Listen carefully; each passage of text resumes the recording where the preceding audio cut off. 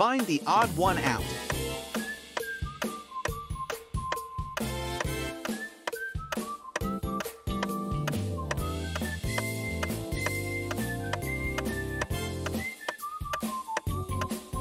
Oh. ho, ho.